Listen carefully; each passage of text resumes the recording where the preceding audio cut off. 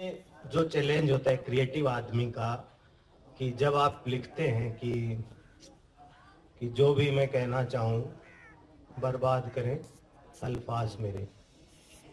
ये चैलेंज क्या है? आप पे क्या समाज का अपने अं-, अंदर का क्या प्रेशर क्या है? चैलेंज क्या है? ऐसा क्या है कि जो आप कहना चाह रहे हैं और अल्फाज जो हैं उसको बर्बाद कर रहे हैं? जो कह रहे हैं वो उस तक उसका एक पूरा दार्शनिक अर्थ क्या है? उसके उसके पीछे आप क्या सोचते हैं?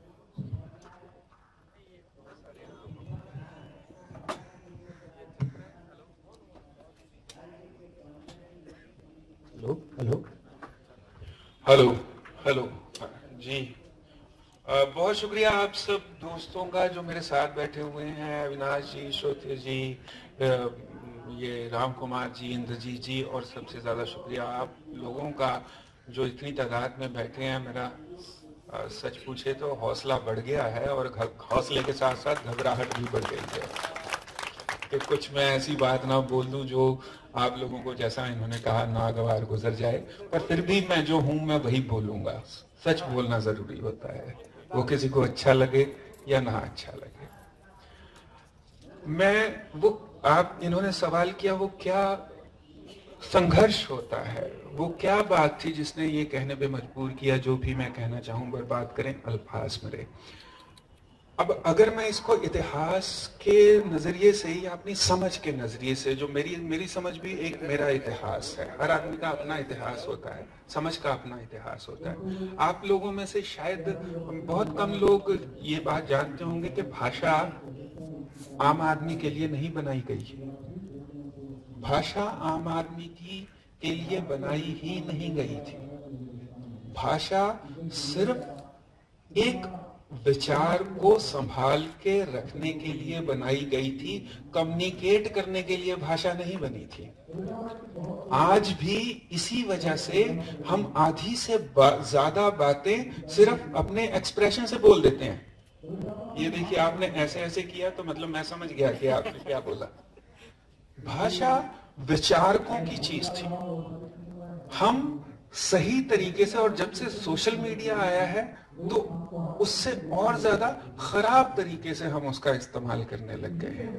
कहना कुछ होता है, लिखा कुछ जाता है, समझा कुछ जाता है। एहसास कुछ होते हैं, लफ्ज कुछ होते हैं, पहुँचते कहीं और जाके हैं किसी जगह पे। तो ये बड़े देर से मैंने मुझे ये विचार चल रहा था कि असल में हम क्यों कहते हैं ये बात?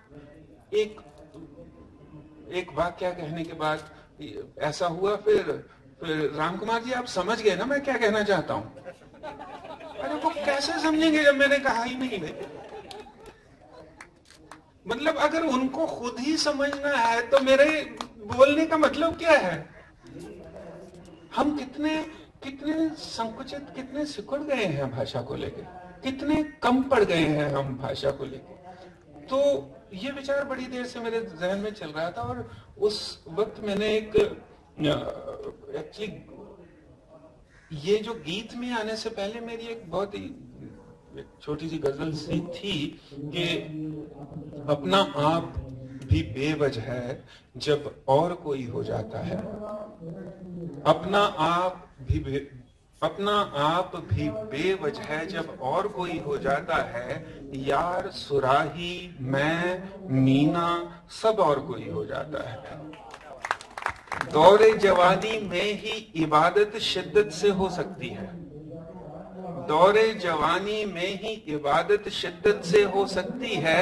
हाँ ये बात अलग है कि रब और कोई हो जाता है। इसका शेर था वो कि इन लफ्जों के मायने कामिल जाने कौन बदलता है? इन लफ्जों के मायने कामिल जाने कौन बदलता है? इन लफ्जों के मायने कामिल जाने कौन बदलता है मैं कहता हूँ कुछ और मतलब और कोई हो जाता है